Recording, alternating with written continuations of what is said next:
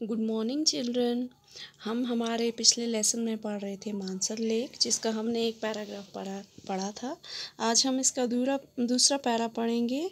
तो क्या है? On the eastern bank of the lake there is a shrine of Shesh Nag a mythological snake with six hairs there are some ancient temples on the bank of the lake which are visited by the devotees Umapati Mahadev Narasimha and Durga temples are situated near the lake newly wed couples make three rounds around the temple तो ये कहता है कि eastern किनारे पर, इस lake के eastern किनारे पर क्या है?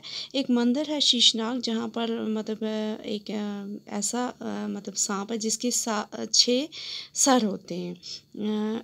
एक ऐसा मिथ मिथ मिथ है ये। ये ट्रू नहीं है मतलब माना जाता है कि यहाँ पर एक ऐसा स्नेक है जिसके छः सर होते हैं।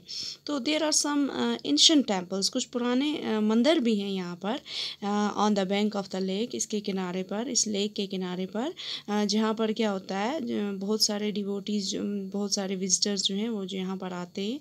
Um uh, Umapati Mahadev Narasimha and Durga temples are situated near the lake यहाँ पर ये उम उमापति महादेव महादेव नरसिम्हा और दुर्गा मतलब मंदिर जो हैं, वो भी इस लेक के नज़दीक हैं।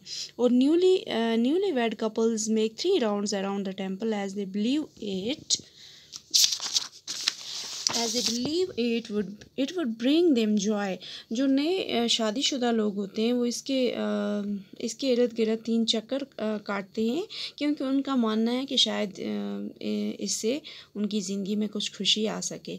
तो सम communities of the Hindu also perform mundane first haircut of their male children. कुछ हिंदू कम्युनिटीज़ में से कुछ लोग मतलब क्या करते हैं, जो उनका जो उनके लड़के जब पैदा होते हैं मेल चिल्ड्रन तो उनका सर मंडवाने के लिए वो उनको यहीं पर ले आते हैं। Mansar has also gain popularity among tourist with its rich flora and fauna तो एक वजह से मतलब जो मानसर लेक मशहूर है मतलब टूरिस्ट लोगों के बीच में वो इसकी, क्योंकि जो यहाँ पर प्लांट्स और एनिमल्स जो यहाँ का पर यहाँ पर हैं। उनकी वजह से भी मतलब क्या है। ये मानसर लेक मशहूर है। तो there is a wildlife sanctuary near the lake, which is famous for spotted deer nilgai water bird as cranes and ducks. यहाँ पर इसकी इस लेक के नज़दीक एक वाइल्ड लाइफ सेंचुरी भी है, जिसमें मतलब एक स्पॉटेड डियर जो है, वाइट हिरन, उसको भी देखा जाता है।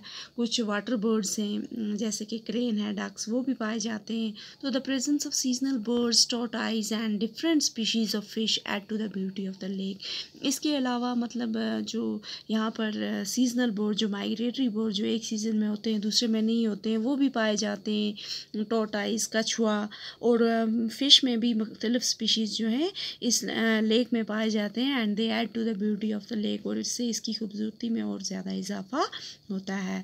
तो इसका लास्ट पैरा जो है, इसमें क्या है? Mansar lake is the venue for food and craft festival in the month of April organize by the J and K tourism department तो यहाँ पर कुछ फेस्टिवल्स भी होते हैं फ़ूड एंड क्राफ्ट फेस्टिवल जो अप्रैल के महीने में मनाए जाते हैं और उसको कौन ऑर्गेनाइज करता है? Jammu and Kashmir tourism department तो cultural festival of Dogras is organize in the in Mansar in the month of in the month of May तो डोगरा लोगों का एक फेस्टिवल भी होता है कल्चरल फेस्टिवल इसी मानसर लेक में जो मई के महीने में मनाया जाता है।